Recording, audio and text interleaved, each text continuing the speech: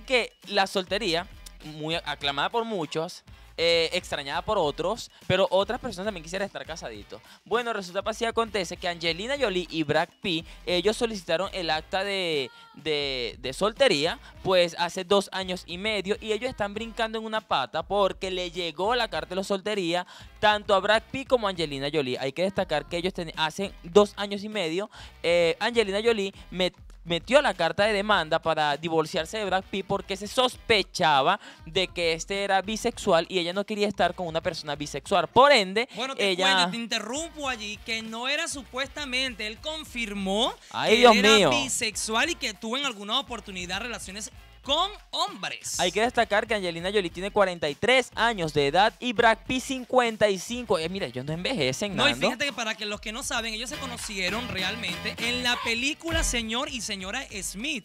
Y él estaba casado en el 2000 con un matrimonio de un año, que solamente duró un año con Jennifer Aniston.